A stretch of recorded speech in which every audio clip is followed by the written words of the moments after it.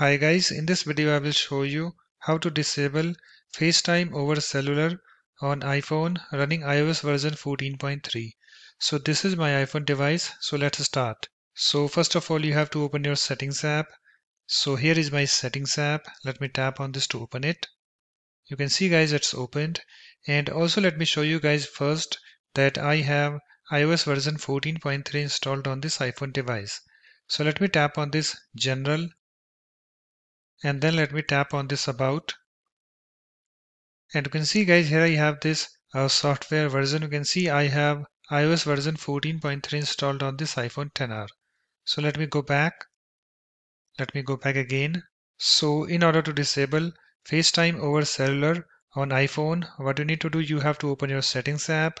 And after that you have to tap on this cellular. So let me tap on this. And I have this a cellular screen opened and on this screen you have to scroll down uh, to this uh, cellular data uh, this uh, section. And in this section you have to find the FaceTime. So let me find that. Let me scroll down okay. You can see here I have this you know uh, FaceTime. You can see currently it's you know enabled. You can see the toggle is currently enabled. So in order to disable this FaceTime over cellular on iPhone what you need to do you have to you know disable this toggle so just tap on this toggle uh, next to this FaceTime and move the slider to the left. So let me tap on this. I'm tapping on it and you can see it's now disabled. So it's now done guys. After that you can close your settings app. So let me close that.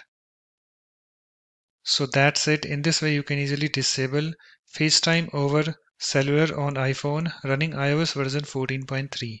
So thanks for watching. If you like my videos, please support this channel by subscribing to it. Thanks. Bye bye.